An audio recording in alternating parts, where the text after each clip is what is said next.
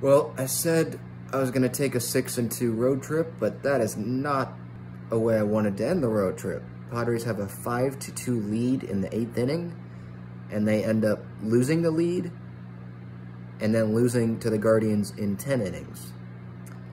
Tim Hill wasn't great, Robert Suarez wasn't great, Dinelson Lamet wasn't great, hit Franmil there in the tenth, and then gave up the walk-off single to Steven Kwan, who's a hit machine right now to start off the season.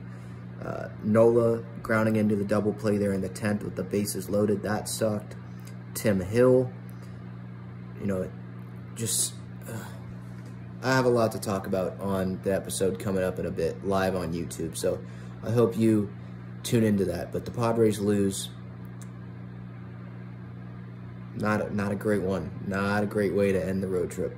Six and two is great, but it's the way that it's six and two going home to San Diego.